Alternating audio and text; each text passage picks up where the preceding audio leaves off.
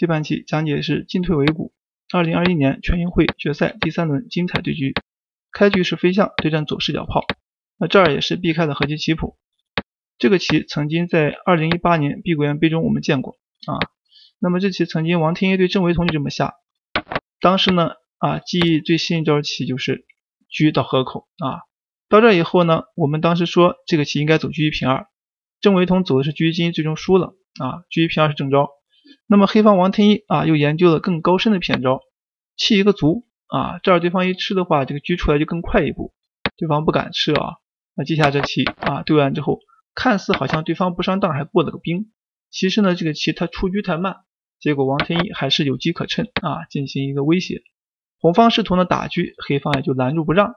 这儿的话，对方上马，他是附有一个骗术在里面，黑方看似要吃子儿。红方这里妙手解围啊，打着车，你一吃把车打死，这就是骗招。所以到这儿，王天一赶快退回。此时呢，红方上马，这儿的话看似他阵型有点乱，但是汪洋守的非常顽强。接下来这棋呢，这里啊先吃马试探应手，首先你不能上，你一上我一步就杀你了，这就是骗招啊。那么现在这个棋退回啊，现在上马，对方这个棋他是想走一个冲兵啊，因为你先冲兵，他是你炮，所以炮退一步再冲兵。眼看马要受围，他只好选择踩掉，围就照。这儿的话，把这个兵消灭掉。此时对方挡住，这儿就上马。对方盯住是有一个打象抽车的手段，所以此时呢，这个棋啊打一将，然后呢，这个棋走了一个补士。那补士和飞象都可以，但是补士的话多了一个平炮过来吃对方的炮，更灵活。那么对方选择的是一个上马，这儿的话就切进去。红方赶快把车拿起来，黑方不让红方的车活通。红方回马进枪，就是要炮赶走，把车调过来吃马。那这儿的话就挤住不让，对方赶快闪啊！这儿吃着象，那这个棋直接打一将也可以，见明见优啊。那么踩着车的话，王天一先闪了一步，王阳就赶快啊飞象。到这儿的话，黑方想吃炮，红方这里呢想脱身脱不了，因为你吃马，人家把炮一吃就看住了，所以没有用啊。到这儿你还不能象，一象的话一炮打死，所以呢这个棋啊白丢一个子。那么红方为了脱身，就炮前进一步，下一步去吃马，黑方就守住不让你吃马。到这儿啊，红方一个妙手给车生根了。结果呢，这个棋啊，双方进行交换，这儿就形成一个马炮残局。那现在这棋黑方多了一个中卒，红方赶快吃一个边卒。到这儿的话，黑方飞象顶住马，关键招法。那这样的话，把对方马找机会再逼退啊。那现在这棋啊，红方势力一弱，这里也是富有陷阱。如果说你贸然去吃这个子儿，那就和棋了。为什么呢？因为它这里有一个回马啊，将来就可以踩你。这儿呢，它又可以啊，就先踩你一步象，你肯定要走象，不然有顾忌啊。然后双马去踩你，你必然要走。你一走，它踩这个卒，你卒再一走，那将来这个棋啊，这边又踩着你，所以你不行呀。你这个棋肯定要去拱对方的马。这马一退之后呢，你现在这个卒再一拱，看似逃跑了，他这回马进枪踩着双。所以过河卒和这个边卒你肯定要丢一个，索性避重就轻啊，就回马，不让你回去踩，那只能吃个卒了。对方打个兵，到这黑方虽然兵种好多一个卒，但是这个棋呢，赢棋难度相当大，几乎就是和棋。对于汪洋和王天一这样顶尖高手来讲，那就和定了。所以说到这儿的话，王天一没有把握，他选择的招法就是飞象，先把马赶走再说，这儿找机会的作战。红方也是趁势把这些兵守住啊，双方在这纠缠着。最终呢，这个棋啊形成了一个小卒驱赶马，把他马赶走之后呢，随时就可以吃兵。这儿的话，对方也是苦肉计啊，你要吃的话，他上来给你换一下就求和。那么这时候王天一啊选择招法是回来挤住不让。这儿红方也是上马顽强把这兵保住，黑方先平炮，避免对方这个马上来扰乱阵型，找机会呢平卒过去吃对方的兵。现在由于对方这个棋啊，他有马看住这个兵过不去啊。黑方就先上马，找机会把卒往过平。红方这个棋呢，选择的招法就是把士象调一下。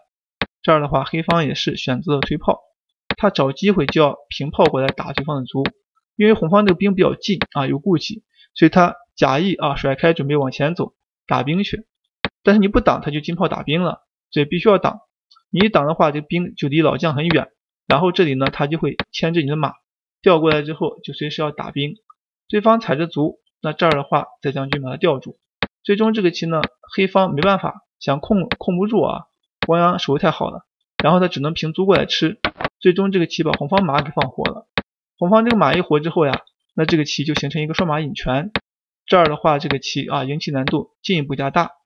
此时呢这个棋啊王天一呢也是迅速把卒往跟前运，找机会想杀他。而红方这个棋准备走马右移啊，这个运子也非常漂亮，踩着卒然后我跳，形成了双马引拳对杀之势。这时候呢，黑方平卒，红方一将，这儿的话可以填炮啊解围。此时这个兵平过来就要抓死炮，一旦把这炮抓死，那红方反而还赢了。所以这时候有顾忌啊，他就支势，支势以后呢，这个棋啊，红方呢他担心你往这一平，他往这一走，你拱掉之后，他炮往过一调，将来一进炮就赢了。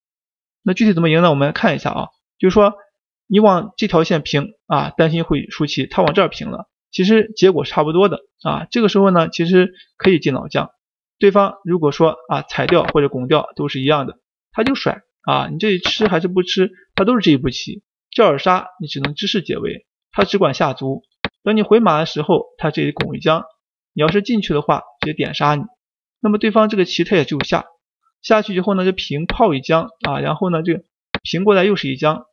到这儿你要顾及对方抽将的可能性啊，所以要先出来解一步。对方一回之后呢，摆一将，你要回马把马抓死。那么你不回马的话，一落士好，他一下卒，直接就杀了。所以这个棋你根本解不掉啊。那么王天一到这里啊，只要是老将进来，可能就要赢棋。临场的话有点这个进退维谷的意思。所以到这儿的话，那放不开了，感觉这士一丢会不会有顾忌啊？所以临场当断不断啊，过于保守。结果让汪洋抓住机会啊，把这个兵给运过来了。运过来之后呢，这里抢了一步棋啊，他眼看这个棋下来叫将军吃炮，所以呢，黑方就想赶快逃呀。你这一冲王过一甩，这不就赢了吗？但是就在这个时候呀，汪洋又下出一步妙手，他用马把炮给拦住了。这棋走的妙呀，你炮过不去了，下一步要抓死你，所以没有办法，只好下将。这儿形成了交换，最终形成了一个马兵对战是马双卒。但是由于这个棋啊。他两个卒立的比较近，如果让他这个一卒换双士啊，这车这杀进去之后啊，马卒就赢了。所以红方现在顾不上这个兵，赶快啊想办法去解围。这儿的话挡住老将啊，那吃掉。现在回马刚好看就是啊，这棋解的很妙呀。那么眼看要杀棋杀不到，最终呢王天一啊选择一个运马，把这个马过移啊，将军之后变成马腿硬破双士。但是即便如此，汪洋这个棋功力也是深厚呀。守的是滴水不漏啊，他盯住你的卒，你这个卒离开了花心啊，你就没有作为了。所以这个棋防守要领就是这个马盯着卒就行了，先走象，这个象随着对方马的这个改变而改变，不要给他将军抽象机会就行。那么这样一来的话，这个棋啊确实很难赢。到这儿的话，这个棋将了一军踩象，想骗对方啊，对方一落你一上，准备跳将吃象，结果呢人家飞象，你将他上来了，最终在这个局面下确实是赢不到。那王天只能接受和气。